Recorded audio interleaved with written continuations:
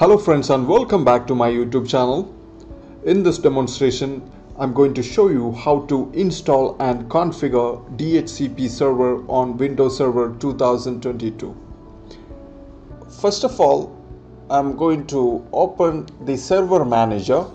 The computer name is master and the domain name is techglob.local. Static IP address is 192.168.60.130. Let me open dashboard and here we need to install the DHCP.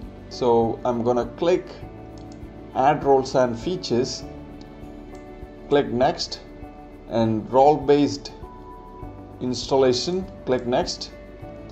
By default the master.techglob.local is selected and click next. And here you need to select DHCP server. Add features click on that.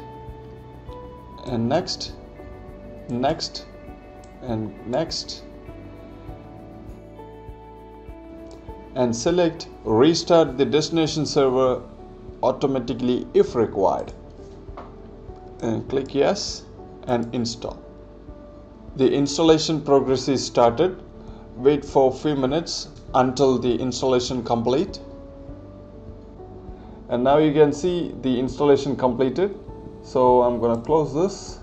And you can see here we need to um, complete DHCP configurations. So I'm gonna click that and click next. And here I'm going to click the commit for authorization. And now you can see the authorization DHCP server is done. So I will show you um, let me click on the tools on the server manager and open Active Directory users and computers. And when you click the users you will see the DHCP server is added the DHCP administrators and DHCP users and let me go back to the DHCP server installation completed. Click on the close button and minimize. And now in the server manager select tools again and click on the DHCP so here we need to do the configurations and uh, the scope okay? So expand the FQDN uh, IPv4 and right click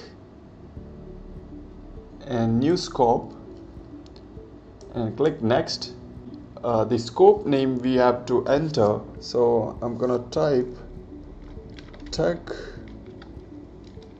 globe underscore DHCP the description I'm gonna leave that box and click next and enter the starting IP address in my case 192.168.60.150 and the end IP address is 192.168.60.200 and the subnet mask is by default selected.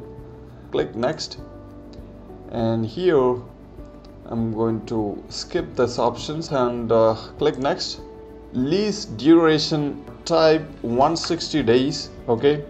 And configure DHCP options. Select first as I wanted to configure this options. Click next. And the router default gateway IP address of my gateway in the server 192.168.60.2 is the default gateway. I'm gonna click add button and click next. Server name is master then resolve uh, I got the IP address of the server. Click add. These are the primary DNS I'm gonna uh, remove that then.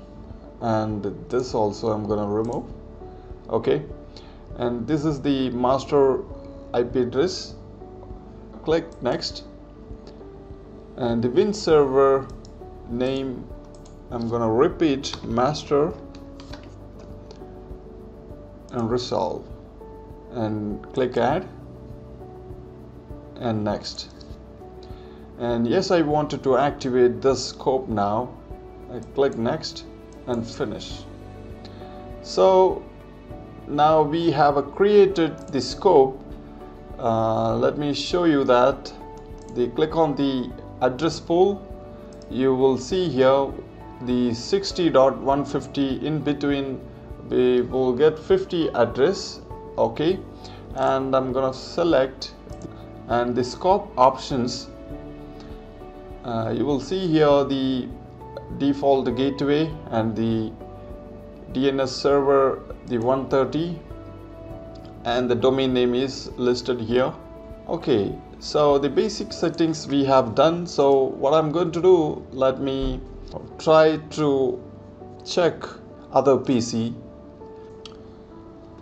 on the Windows 10 machine I'm gonna open run and type cmd and enter ncpa.cpl and right click on the uh, network port and select properties and click on the TCP IPv4 and select obtain an IP address automatically. And the second option also same and click OK. And click OK.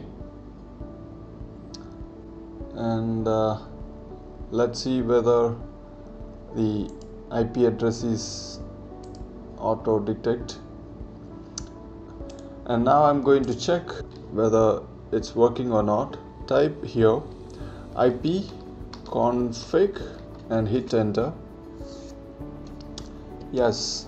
Now the DHCP server is we have configured successfully. So here you can see the the range of we have created 150 192.168.60.150 range okay and the default gateway is listed here. And you can see the connected specific DNS suffix uh, the techglob.local automatically assigned IP address in this device. Let me go back to the server again and check whether the IP address is detected or not. Refresh.